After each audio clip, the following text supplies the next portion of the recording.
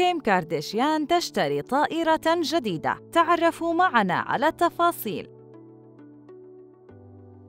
قامت نجمة تلفزيون الواقع الأمريكي كيم كارديشيان باقتناء طائرة خاصة جديدة وصلت قيمتها إلى 95 مليون دولار وعادت بها من إيطاليا إلى مدينة لوس أنجلوس الأمريكية بعد انتهاء أسبوع الموضة الذي أقيم قبل أيام قليلة في ميلانو. وقد اختارت كيم كارديشيان لتلك الطائرة اسم Kim Air ونشرت وسائل الإعلام أنها صنعتها من الصفر على ذوقها الخاص. وكانت كيم كارديشيان تنتظر لمدة عام لتصميم هذه الطائرة الجديدة التي تتميز بتصميم داخلي باللون الكريمي والمقاعد الجلدية على نفس تصميم منزلها كما ذكرت وسائل إعلام أن الطائرة من نفس نوع الطائرة التي يمتلكها رجل الأعمال الشهير جيف بيزوس. ويبدو أن كيم تحاول رسم صورة متكاملة لسيدة الأعمال الناجحة باقتناء طائرة بهذا المبلغ. ومن ناحية أخرى وصلت قيمة العلامة التجارية التي تمتلكها كيم كارديشيان إلى 3.2 مليار. ما زاد من قيمة ثروتها بمقدار 600 مليون دولار. وكما ذكرت مجلة فوربس فقد وصل صافي ثروة كيم كارديشيان إلى ما يقدر بنحو 1.8 مليار دولار وعلى الصعيد العائلي. فكيم كارديشيان انفصلت قبل أشهر عن زوجها كاني ويست والد أبنائها ولم يتم الانفصال رسميا إلى الآن. ولكن هناك حرب تصريحات بينهما عبر مواقع التواصل الاجتماعي. فتارة يعترض كاني طريق سيارة أبنائه وأخرى ترد عليه. وثالثة يرسل لها سيارة زهور في عيد الحب ويشتري منزلا بالقرب من منزلها وأعلن كاني في أحد اللقاءات رغبته بالعودة إلى كيم مجددا.